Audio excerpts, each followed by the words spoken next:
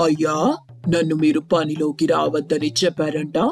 ఎందుకు రావద్దని చెప్పారో తెలుసుకోవచ్చా అయ్యగారు? నీకు పుట్టగానే పేరు పెట్టారా లేక పెరిగాక పేరు పెట్టారా? ఏదైతే ఏంలే ఆ పేరు నీకు సరిగ్గా సరిపోయింది. నువ్వు పని చేసే దానికంటే నా కొట్టులో సరుకులు తినడమే పనిగా ఓ ఉద్యమంగా పెట్టుకున్నావు. ఇంకా రెండు రోజులు గనక నువ్వు నా కొట్టులో ఇలాగే పని చేస్తే మాత్రం నేను నా వ్యాపారాన్ని దివాలా తీయటం ఖాయం. ఇక నీకు ఇక్కడ పని లేదు. వెళ్ళిపో. అయ్యా మీరలా అనకండి అయ్యా ఏదో ఆకలేసి కొద్దిగా తిన్నానంతే. నువ్వు కొద్దిగా తింటేనే ఇలా సగం సరుకులు ఖాళీ చేశావంటే ఇక నువ్వు తినడం అంటూ మొదలెడితే నిన్ను భరించటం నా వల్ల కాదు. వెళ్ళిపో. అంటూ భీముడిని బలవంతంగా అక్కడి నుండి గెంటేశాడు అతను. భీముడు ఎంత బ్రతిమాలినా కూడా అతను వినలేదు. అయ్యో ఇప్పుడు నేనేం చెయ్యాలి? దొరక్క దొరక్క దొరికిన చిన్న పని కూడా పోయింది. ఇక నాకు పనిచ్చేవారెవరు? భీముడు బాధగా ఇంటికెళ్ళాడు. ఇంటి దగ్గర భీముడి భార్య అయిన సరోజ అప్పుడే వంట చేసి బయటికి వెళ్ళింది. అక్కడ ఉన్న వంటల్ని చూసిన భీముడు తన బాధ మొత్తం మరిచిపోయి ఆహా ఏమి సువాసన? ఈ వాసన చూస్తేనే తెలుస్తుంది వంటలు ఎంత రుచిగా ఉంటాయో అని. సరోజా సరోజా ఇంట్లో లేనట్టుగా ఉందే. సరే తనొచ్చేంత వరకు ఎదురు చూడటం నా వల్ల కాదు. అనుకొని భీముడు తినటం మొదలెట్టాడు. అలా తింటూ తింటూ వంటలన్నీ ఒక్కటి కూడా మిగల్చకుండా తినేశాడు. అప్పుడే సరోజ ఇంట్లోకొచ్చింది. తన ఎదురుగా భీముడు గిన్నెల్లో మొత్తం ఊడ్చి ఊడ్చి తింటూ ఉండటం చూసి ఏమయ్యా కనీసం ఇంట్లో ఉన్నవాళ్ళు తిన్నారా లేదా అని కూడా ఆలోచించవా నువ్వు? తిండి కనిపిస్తే చాలు. నీ పొట్ట నింపుకోవడానికి మాత్రమే చూస్తావు కానీ పక్క వాళ్ళకి కొద్దిగా అయినా మిగల్చాలి. వారు కూడా నీలాగే మనుషులు అని ఆలోచిస్తావా నువ్వు? ఎప్పుడు చూడు వండిన వంటంతా నీకొక్కడికే చేసినట్టే. మొత్తం తినేస్తావు. నీ సంపాదనకి నువ్వు తినేదానికి ఏమైనా సంబంధం ఉందా? అంటూ సరోజ తిడుతూనే ఉంది. అప్పుడు భీముడు అది కాదు సరోజా నువ్వు తినేసావనుకున్నా. అయినా నాకిలా తినడం ఏమైనా సరదానా చెప్పు. అందరూ ఇలా అనే ఆ కొట్టువాడు కూడా ఈ రోజు నుండి నన్ను పనిలోకి రావద్దంటూ చెప్పాడు. ఏంటి? ఈ పనిలో నుండి కూడా నిన్ను తీసేశారా? ఎక్కడ కూడా నువ్వు తిన్నగా పని చేయవు కదా. కష్టపడి పని చేయటం ఎలాగో నీకు రాదు. కనీసం కూర్చొనైనా పని చేస్తావని ఆ కొట్టు అతని కాళ్ళ వెళ్ళ పడితే ఆ పనిచ్చాడు ఇప్పుడు నిన్ను పనిలో నుండి కూడా తీసేస్తే ఇక ఎట్టయ్యా మనం బతికేది? నువ్వేం బాధపడకు సరోజా. నేను మళ్ళీ ఏదో ఒక పని వెతుక్కుంటానులే. నీకు తినడానికే సమయం మిగలదు. ఇంక నువ్వు పని వెతుక్కుంటావా? అంతా నా కర్మ. నా తలరాతలో నిన్ను భరించాలనుంది. అని బాధగా తన గదిలోకి వెళ్ళిపోయింది సరోజ. భీముడు కూడా సరోజని ఏమీ అనలేక తను కూడా బాధగా అక్కడి నుండి వెళ్ళిపోయాడు నేనెలాగైనా సరే ఈ రోజు ఏదైనా ఒక పనిలో చేరాలి. నా భార్యని సంతోషపెట్టాలి. అని అనుకుంటూ పని కోసం బయలుదేరాడు. అలా వెళ్తూ ఉండగా ఒక తోట దగ్గర జమీందారు ఉండటం చూసి తన దగ్గరికి వెళ్ళాడు. అయ్యా నా పేరు భీముడు. మీ దగ్గర ఏదైనా పనుంటే ఇవ్వండి అయ్యా అంటూ అడిగాడు.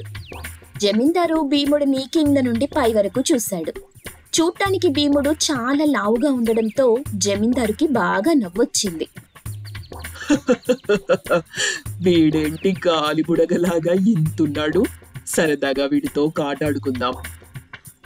ఆ భీముడు నీకోసం నా దగ్గర ఒక పనుంది. చేస్తావా? చాలా సంతోషమయ్యా. చెప్పండి ఏ పనైనా ఇట్టే చేస్తాను. ఏం లేదు భీముడు ఈరోజు మా పనివాడు రాలేదు. కాస్త ఈ కొబ్బరి చెట్టెక్కి కాయలు కోస్తావా? తప్పకుండా అయ్యగారు. అంటూ భీముడు కొబ్బరి చెట్టెక్కటం మొదలెట్టాడు. పాపం తన పొట్ట పెద్దగా ఉండడంతో పొట్ట చెట్టుకి తగిలి చేతులు కొబ్బరి చెట్టు చుట్టూ అందుకోలేకపోతున్నాయి. అందుకోసం భీముడు అష్ట కష్టాలు పడుతూ కింద పడుతూ పైకి లేస్తూ ఉన్నాడు. అది చూసి జమీందారు కడుపుబ్బ నవ్వుకున్నాడు. చాలు చాలు. ఇంకా చాలు భీముడు నవ్వలేక పొట్ట చెక్కలయ్యేలాగుంది. ఇదిగో నన్ను నవ్వించిన దానికి ఈ నాణం తీసుకో. జీవితంలో ఎప్పుడు ఇంతలా నవ్వలేదు. నీ పొట్ట? అంటూ హేళనగా నవ్వాడు జమీందారు. అందుకు భీముడు చాలా బాధపడ్డాడు. ఆ నాణెం కూడా తీసుకోకుండా అక్కడి నుండి వెళ్ళిపోయాడు. అలా భీముడు ఎక్కడికి వెళ్ళినా తన ఆకారం చూసి అవమానించి హేళన చేసి పంపేవారు. అలా భీముడు చివరికి ఊరు చివరన ఉన్న ఒక హోటల్ దగ్గరికి వెళ్ళాడు. హోటల్లో కూర్చున్న యజమాని దగ్గరికి వెళ్ళి అయ్యా నేను చాలా దూరం నుండి వస్తున్నాను. పొద్దున నుండి ఏమీ తినలేదు. కాస్త తినడానికి ఏమైనా ఉంటే పెట్టండి అయ్యా. ఆకలికి తట్టుకోలేకపోతున్నాను. అరెరే అవునా? అలా కూర్చోవయ్యా. భోజనం పెట్టిస్తా. రాములు ఇతనికి కడుపు నిండా భోజనం పెట్టి పంపించు. లోపలికి వెళ్ళు బాబు. మా వాడు నీకు భోజనం పెడతాడు. చాలా సంతోషమయ్యా. మీరు చల్లగా ఉండాలి. అని చెప్పి లోపలికి వెళ్ళి కూర్చున్నాడు. ఇక్కడే కూర్చోవయ్యా. భోజనం తీసుకొస్తాను. అని చెప్పి రాములు లోపలికి వెళ్ళి ఒక అరటాకు తీసుకొచ్చి భీముడి ముందు పెట్టాడు. అరటాకులో అన్ని పదార్థాలు పెట్టాడు. ఇక భీముడు నమస్కరించి తినటం మొదలెట్టాడు. మీరు తింటూ ఉండండి. నేను వెళ్ళి తాగడానికి నీళ్ళు తీసుకొస్తాను. అని చెప్పి లోపలికి వెళ్ళి నీళ్ళు తీసుకొచ్చే లోపు భీముడు ఆకులో ఉన్న భోజనమంతా తినేసి ఇంకా ఆకలిగా ఉందండి.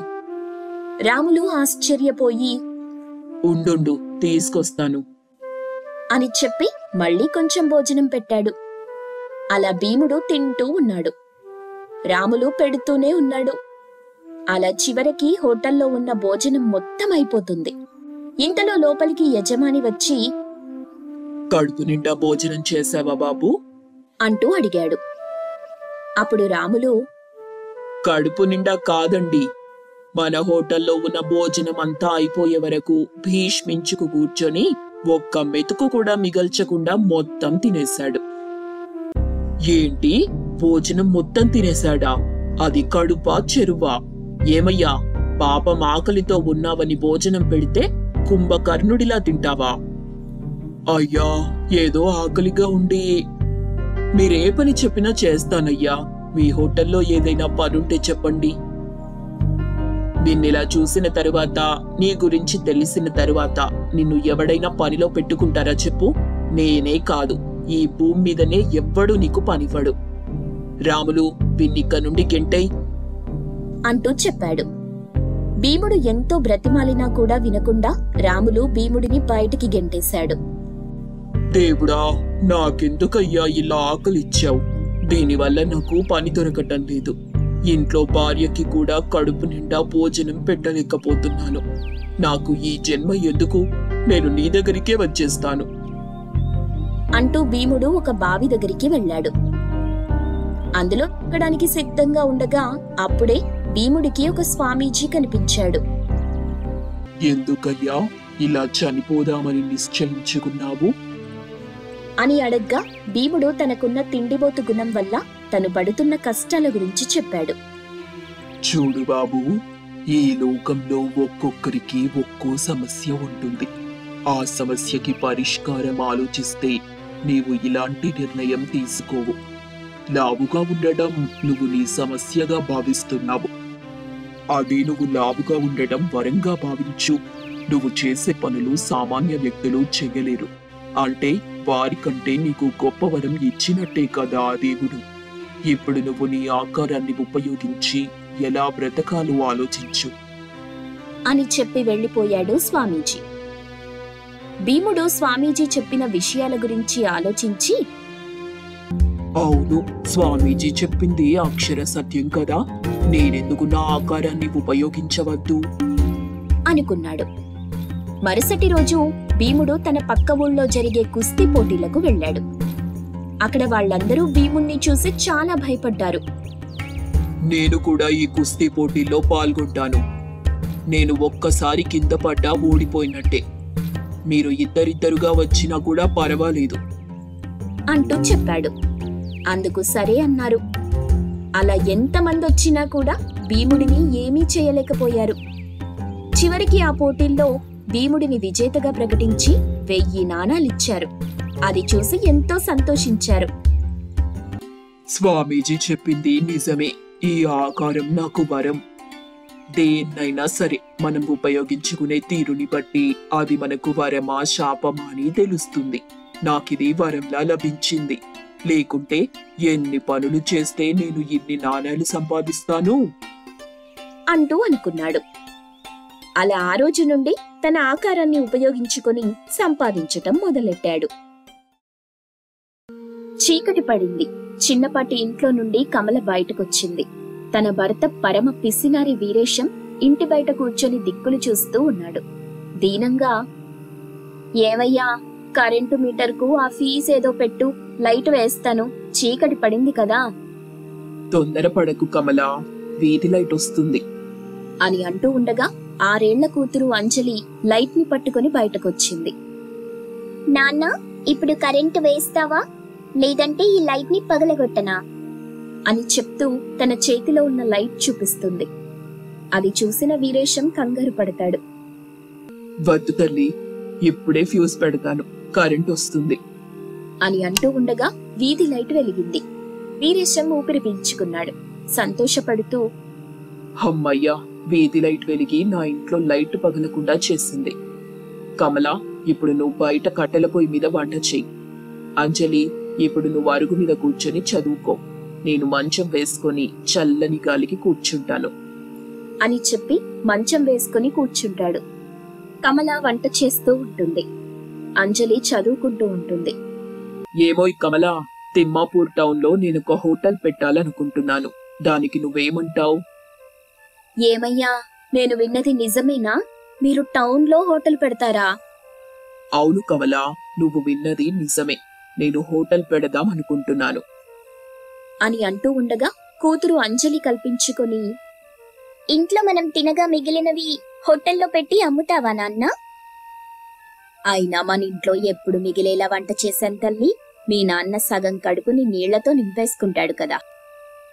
కమల నువ్వు కూతురు నమ్మినా నమ్మకపోయినా నేను చెప్పేది నిజం. టౌన్లో మంచి సెంటర్లో ఉన్న ఒక హోటల్ మాట్లాడాను. ఒప్పందం కుదిరింది. రేపు మనం టౌన్కి వెళ్ళి అద్దె ఇంటిని చూసుకుందాం. అని చెప్పగానే పొయ్యి దగ్గర ఉన్న కమలకి కళ్ళు తిరిగినంత పనైంది. మరుసటి రోజున కళ్ళు మూసుకొని ఇంటి బయట నిలబడి ఉన్న పరమ పిసినారి వీరేశం దగ్గరికి ఇంట్లో నుండి అతని భార్య కమల కుంకుమభరణి పట్టుకొని వచ్చింది. అదేంటండి? ఇంటి బయట నిలబడి కళ్ళు మూసుకున్నారు? ఎక్కువసేపు చూస్తే కళ్ళు లాగుతాయి కదా కమల. అందుకే అవసరం ఉన్నప్పుడే కళ్ళు తెరుస్తాను. అవసరం లేనప్పుడు కళ్ళు మూసుకుంటాను. ఎలా ఉంది నా ఆలోచన? మీ పిసినారి బుద్ధికి తగ్గట్టుగానే ఉంది. దీన్ని పిసినారి బుద్ధి అనరు కమల. జాగ్రత్త పడటం అంటారు. మీ జాగ్రత్త సంతకెళ్ళా? కళ్ళు తెరవండి. ఎవరైనా చూస్తే గుడ్డి వాళ్ళని ఐదో పదో దానం చేసినా చేస్తారు. మరీ మంచిది. ఇలా వస్తే ఏముంది కమల? మనకి కావలసింది డబ్బులు. అయితే హోటల్ పెట్టడం ఎందుకు? కళ్ళు లేని కబోదిని బాబు దానం చెయ్యండి అని ఏదో ఒక గుడి దగ్గర కూర్చోండి. ఏదో ఒక గుడి దగ్గర ఎందుకు కమల? టౌన్లోనే ఉన్న గుడి దగ్గర కూర్చుంటాను. ఆ పని మాత్రం చెయ్యకండి. మీకు కళ్ళున్నాయని తెలిసిన వాళ్ళెవరైనా చూస్తే కనుగుడ్లు పీకి చేతుల్లో పెడతారు. అప్పుడు మీరు నిజంగానే గుడ్డి వాళ్ళవుతారు. అని చెప్పగానే వీరేశం భయపడి టక్కున కళ్ళు తెరుస్తాడు. అప్పుడు అతనికి కమల చేతిలో ఉన్న కుంకుమ భరణి కనిపిస్తుంది. ఇదెందుకు కమల? ఇంటింటికి ఖాళీ చేతులతో వెళ్ళి ఈ రోజు సెంటర్లో మా హోటల్ ఓపెనింగ్ ఉంది. మీరు తప్పకుండా రావాలని పిలిస్తే ఏం బాగుంటుంది చెప్పండి? అందుకని ఉండమ్మా బొట్టు పెడతా అంటూ బొట్టు పెట్టి మరీ పిలుస్తావా? అవునండి. ఇప్పుడు కుంకుమ కోసం పది రూపాయలు ఖర్చు చెయ్యాలా ఖర్చు గురించి ఏమాత్రం ఆలోచన లేకుండా హోటల్ పెడుతున్నారు. మరి పది రూపాయల దగ్గర ఎందుకు అంతలా ఆలోచన చేస్తున్నారు? హోటల్ నడవడానికి నడిపించడానికి పక్కా ప్లాన్ ఉంది కమల. ఆ ప్లాన్లో ఈ పది రూపాయల ఖర్చు లేదు. అందుకని ఆలోచన చేస్తున్నాను. బొట్టుంటేనే నేను పిలవడానికి వస్తాను లేదంటే రాను. అని కమల గట్టిగా చెప్పగానే తనలో తాను ఇప్పటికిప్పుడు పది రూపాయల ఖర్చు కాకుండా కుంకుమ ఎక్కడి నుండి తీసుకోవాలి? అని అనుకుంటూ ఆలోచిస్తుండగా మోగిన గుడి గంట వినిపిస్తుంది. అంతే ఉచితంగా కుంకుమ బొట్టు దొరికేది గుడి అని ఆలస్యం చేయకుండా వీరేశం కమల దగ్గర ఉన్న బరిని తీసుకొని పరుగున వెళ్తాడు. కమల ఇంటి దగ్గర ఎదురు చూస్తూ ఉండగా పది నిమిషాల తరువాత వీరేశం వచ్చాడు. ఇద్దరూ కలిసి ఒక ఇంటికి వెళ్ళారు. ఆ ఇంటి నుండి దమయంతి వచ్చింది. కమల బొట్టు పెట్టింది. ఏంటండి విశేషం? అని అడగ్గానే కమల ఏదో చెప్పాలనుకుంది. కాని వీరేశం కల్పించుకొని సెంటర్లో మా హోటల్ ఓపెనింగ్ ఉందండి. మీరు మీ వారిని పిల్లల్ని తీసుకొని రండి. అన్ని రకాల టిఫిన్స్ ఉంటాయి. మీకు అందుబాటు ధరలోనే ఉంటాయి. అంటూ చెప్తాడు. దమయంతి ఆశ్చర్యంగా హోటల్ ఓపెనింగ్కి కూడా ఇలా పిలుస్తున్నారా? మేమే మొదలు పెట్టామండి పేపర్లో వేయించే డబ్బు లేదు. కాంప్లైంట్స్ పంచే దాహత కూడా లేదండి. అందుకే ఇలా బొట్టు పెట్టి పిలుస్తున్నాం. వీటికే డబ్బు లేవంటున్నారు. కనీసం హోటల్లో టిఫిన్స్కి వాడే సరుకులైనా ఉన్నాయా లేవా? మీరు భలే సరదాగా మాట్లాడుతున్నారండి. తప్పకుండా మా హోటల్కి రండి. అని చెప్పి అక్కడి నుండి మరొక ఇంటికి వెళ్ళారు అక్కడ సరోజకి బొట్టు పెట్టింది కమల. అలా ఇంటింటికి వెళ్ళి బొట్టు పెట్టి తమ హోటల్ ఓపెనింగ్ గురించి చెప్తుంటారు. అలా భరణిలోని కుంకుమ అయిపోయే వరకు అందరినీ పిలిచారు వీరేశం కమల దంపతులు. సెంటర్లో వీరేశం ఓపెనింగ్ చేస్తున్న హోటల్ అది. మామిడి ఆకులు అరటి ఆకులతో పాటు వాడిపోయిన పూలదండలు వేస్తున్నాయి. ఏవయ్యా ఈ పూలదండలు ఎక్కడి నుండి తీసుకొచ్చావు? అన్ని వాడిపోయాయి? గుడిలో నిన్న దేవుడికి వేసిన పూలదండలు కమల పంతులు గారు పడేస్తుంటే మనకిక్కడికి పనికొస్తాయి కదా అని తీసుకొచ్చి కట్టాను. అని చెప్పగానే కమలకి కోపం వస్తుంది. కాని అక్కడున్న జనాల్ని చూసి ఏమనలేకపోయింది. హోటల్లో పెట్టిన దేవత ఫోటో ముందు దీపం పెట్టింది కమల. తరువాత కొబ్బరికాయ కొట్టింది. కమల ఈ కొబ్బరికాయ ముక్కలు ప్రసాదం చేసి ఎవ్వరికి పంచిపెట్టకు. టిఫిన్స్కి వాడే పచ్చడికి పనికొస్తుంది. అని చెప్పి కొబ్బరి ముక్కలని కమలకిస్తాడు. వెళ్ళి కౌంటర్ మీద కూర్చోండి. రండి బాబు ఒకరి తర్వాత ఒకరు రండి. టోకెన్స్ తీసుకొని వెళ్ళి కూర్చోండి. అని చెప్పి కౌంటర్ మీద కూర్చున్నాడు. ఒకరి తర్వాత ఒకరొచ్చి డబ్బిచ్చి కావలసిన టిఫిన్స్ చెప్పి టోకెన్ తీసుకొని వెళ్ళి కూర్చుంటారు. పది నిమిషాలైంది. ఏమయ్యా? టోకెన్ తీసుకొని ఇక్కడ కూర్చొని పది నిమిషాలు అవుతుంది ఇంతవరకు నేను చెప్పిన ఇడ్లీ రానేలేదు అవునండి నేనొచ్చి కూడా పది నిమిషాలైంది. నేను చెప్పిన దోశ కూడా ఇంకా రాలేదు. ఇలా అయితే ఎలా చెప్పండి? అంటూ కూర్చున్న వాళ్ళంతా గోల చేస్తుంటారు.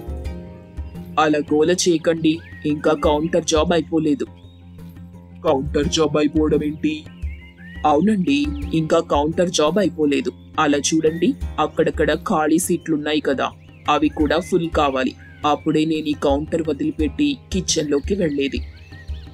అంటే ఏంటి మీ ఉద్దేశం? సదుద్దేశమే తల్లి. ఈ హోటల్కి అన్నీ నేనే. కౌంటర్ మీద కూర్చునే యజమాని నేనే. కిచెన్లోకి వెళ్ళి వేడి వేడి టిఫిన్లు రెడీ చేసేది నేనే. తిరిగి వాటిని మీకు తీసుకొచ్చి ఇచ్చేది కూడా నేనే. అని చెప్పగానే ఆ హోటల్లో కూర్చున్న వాళ్ళకి ఎక్కడ లేని కోపం వస్తుంది. మా డబ్బులు మాకివ్వమని గోల చేస్తుంటారు. అందరూ అల్లరి చేయకుండా మీకిచ్చిన టోకెన్ వెనకాల ఏముందో చదువుకోండి. అంటూ చెప్తాడు. అందరూ తమ దగ్గర ఉన్న టోకెన్స్ తిప్పి చూస్తారు. టిఫిన్ వద్దనుకునే వాళ్ళకి తిరిగి డబ్బులు ఇవ్వబడవు.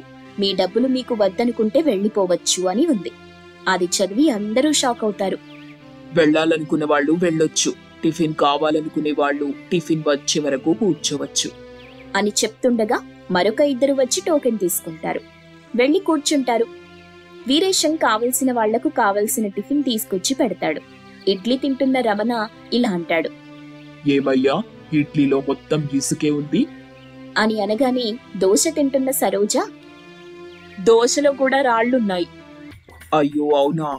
ఆ పిండి గిర్ని అన్నపూర్ణమకి చెప్పాలి. మిషన్ చుట్టుపక్కల పడిన పిండి కాకుండా మిషన్కి కట్టే బట్టకు ఉండిపోయిన పిండి మాత్రం దులిపివ్వమని. అని చెప్పగానే అందరూ పారిపోతుంటారు. వాళ్ళని చూసి అయ్యో ఈ రోజు పారిపోయినా రేపు మళ్ళీ రండి. పిండిలో ఈసారి ఇసుక రాకుండా జల్లెడ పడతాను. రేపు మళ్ళీ రండి. అని అంటుంటే వెళ్తున్న సరోజ దమయంతి రమణ ఆగిపోయి వీరేశంని చూస్తూ దండం పెడతారు.